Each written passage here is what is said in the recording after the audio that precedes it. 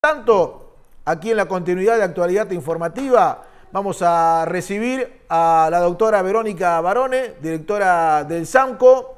Eh, decíamos recién que estaban en diferentes reuniones. Doctora, bienvenida, ¿cómo le va? ¿Qué tal? ¿Qué tal? Buenas tardes. Bueno, eh, ¿qué nos puede contar sobre este caso positivo de COVID-19? Tiene que ver con una persona de Roca, de General Sí. Roca, que trabaja en una industria de nuestra ciudad.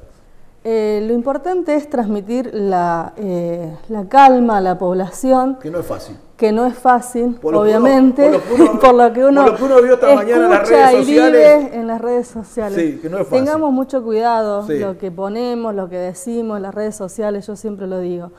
Recién venimos de una reunión que Sí. tuvimos en, en la fábrica, junto con una infectóloga, con la gente de ahí, y realmente se cumplió el protocolo como correspondían. El lunes se aisló, el lunes se supo que este empleado había sido contacto estrecho con un positivo de roca, por lo tanto se lo aisló, se le solicitó eh, el hisopado como corresponde con una empresa privada. ¿El lunes vino a trabajar este? El lunes vino a trabajar. El lunes vino a trabajar. Como vino a trabajar él, con su papá o con un familiar y los tres eh, empleados que viven en la localidad de Tortugas. ¿Y él ya el lunes tenía algún tipo de síntomas? Por lo que nos dicen, no tenía No. Mm. síntomas. No tenía síntomas. Se lo aísla por haber estado en contacto estrecho con una persona que había dado positiva. Sí. Eh, la médica, que es de la empresa, lo aísla. eh, los aíslan también eh, a, los tres, a las tres personas que venían, cuatro personas que venían en el auto. Claro, porque él venía de Roca, pasaba a buscar a tres compañeros de Claro, Tortugas porque él para antes venir. era eh, oriundo de Tortugas y estaba viviendo en Roca, entonces pasaba a buscar a sus tres compañeros y se venía para acá. Bien.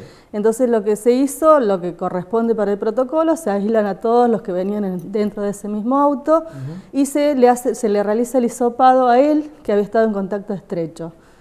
Eh, lo que sí, el resto se va a ver según eh, la infectóloga y según las normas de protocolo durante la semana, eh, epidemiológicamente los vamos a ir siguiendo Va a haber un seguimiento. para ver si tienen síntomas Bien. y eh, si ameritan el hisopado o no, pero lo más seguro es que los hisopemos, obviamente. ¿A quién se refiere usted? ¿A los compañeros A de los trabajo? contactos estrechos. Yo siempre hablo de los Contactos estrechos son los estrechos, son los compañeros de trabajo que venían dentro del auto. Sabemos que la mayoría venimos dentro del auto sin barbijos.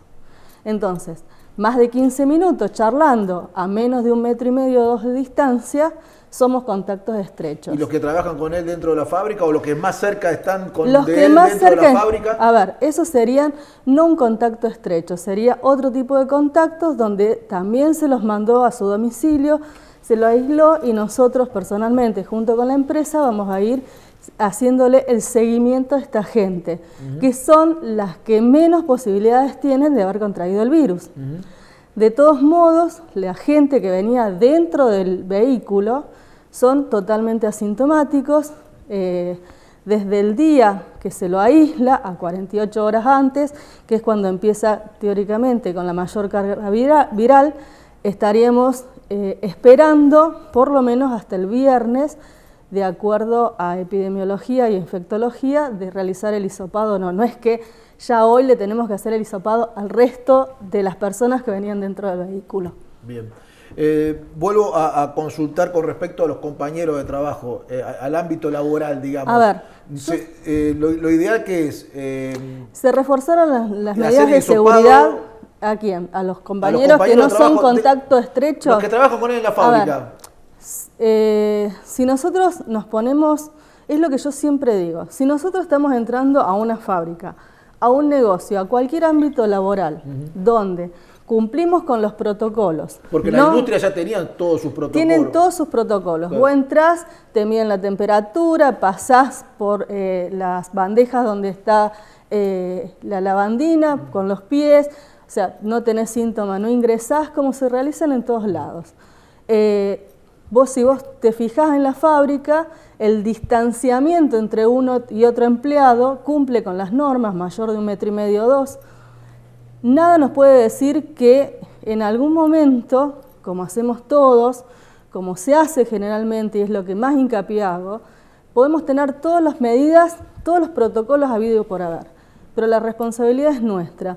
Si yo me estoy tomando este vaso de agua y te digo, vos tenés sed y te comparto mi vaso de agua, la responsabilidad es nuestra de haber accedido y estamos eh, rompiendo con esas medidas de seguridad que nosotros tenemos dentro de la fábrica. Usted, dice, que con los protocolos que implementaron las industrias, eh, no tendría que haber eh, ningún contagio de esta persona no que debería. no debería, no, debería haber. no tendría, no debería. ¿Por, qué? Porque está, porque si vos tenés, porque, tenés el, distanciamiento, porque tenés un barbijo N95, porque tenés alcohol en gel, porque te podés lavar las manos. Una cosa es las tres personas que venían con él en el auto. Otra eso cosa es, eso es un contacto estrecho, porque no cumplieron con las medidas que corresponden. El distanciamiento ni, la uso, ni, el uso de barbijo. Eso pasa dentro de todos los autos, todos los vehículos, yo veo en la ruta que voy y vengo todos los días, eh, la mayoría vienen sin barbijo y a veces viene uno, pero a veces vienen tres o cuatro, que es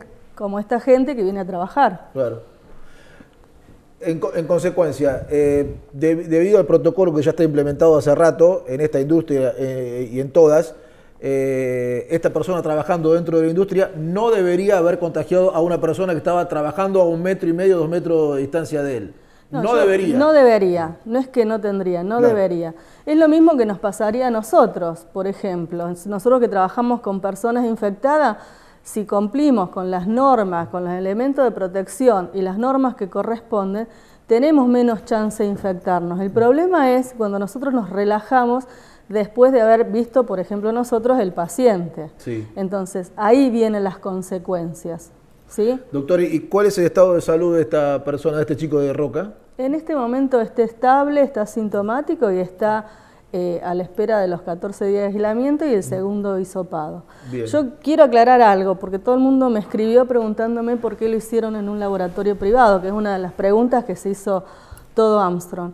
Ellos tienen, desde que comenzó la pandemia, hicieron un contrato con esta gente, con el laboratorio Civic a nosotros nos ayuda porque también nos descomprime el, sistema de salud pública, ¿sí? No es porque lo decidieron, porque sean ellos y todas las cosas que se dicen, es porque realizaron un contrato para tener realmente la RT y lo que corresponde eh, ante un caso de necesidad de alguno de los empleados. ¿Y eh, estaría mal en ese caso que un particular, sea la industria que sea, o un comercio que haga eh, laboratorios privados, particulares? ¿Está mal? ¿Sí o sí tiene que pasar por, no, no, la, por no, no Está mal, no está mal. Eh, me parece que es una forma de descomprimir al sistema público. Además está decir que ante esta sospecha de este caso, Inmediatamente, inmediatamente la médica que está trabajando en Crucianelli nos informó a nosotros, nos hicimos, eh, bueno, estuvimos trabajando en conjunto junto con ellos, más allá de que ellos tienen su infectóloga, el laboratorio y demás. ¿Sí? Doctora, ¿se va a desinfectar eh, parte de la fábrica, el sector donde el trabajaba? El sector donde trabajaba este empleado se va a desinfectar con más, eh, con más eh, profundidad, pero se están haciendo todas las noches las desinfecciones como corresponden y bueno, se va a incrementar esa desinfección ahora. Bueno, muy bien. Por eso yo lo que le transmito, primero que calma, que esto no es una cacería de brujas, que tengan muchísimo cuidado con lo que ponen en, cada red, en las redes sociales, porque ninguno de nosotros quiere ser infectado, ninguno quiere contraer el, COVID. Nos puede pasar a cualquiera, pero eso nos pasa cuando a veces nos relajamos. Por eso hago hincapié en las reuniones sociales, que es donde más tenemos que tener cuidado. Recién hablábamos, no es lo mismo el conviviente o la familia, el vínculo estrecho, a la reunión social con mis amigos, con los amigos de los amigos, con ¿Entienden? Entonces, no sabemos quién estuvo con ese amigo, con ese otro amigo, a dónde fue. Normalmente lo que es en familia nosotros sabemos si salió o no salió. Entonces, por favor, tengan muchísimo cuidado en relajarse y eh, sobre todo en las reuniones sociales, que es donde creemos que, ninguno, que a ninguno nos va a pasar y pasa. Este chico de General Roca eh, que, dio positivo, durante el fin de semana, ¿tuvo algún tipo de síntomas como para decir o avisar a la empresa, me pasa esto, me pasa aquello, mañana no voy a trabajar? ¿Tuvo algún tipo de síntomas sábado, domingo? Lo que se dijo en la reunión, nos dijeron que no había tenido ningún tipo de síntomas. Sí, el lunes dijo cuando llegó a la empresa que su contacto de una reunión previa el día 12 había dado positivo y entonces ahí se activa el protocolo con la médica de la empresa. Bien, perfecto. Bueno, eh, no sé si le queda algo para agregar. No, solamente por favor, el barbijo, el distanciamiento social, el uso del alcohol en gel y lavarse las manos. Por favor, lo, lo, recalco todo el tiempo y muchísimo cuidado con lo que decimos, con lo que ponemos. Nos puede pasar a nosotros, a nuestra familia, a nuestro vecino. Y la verdad es doloroso leer, escuchar y ver que la gente dice lo que dice.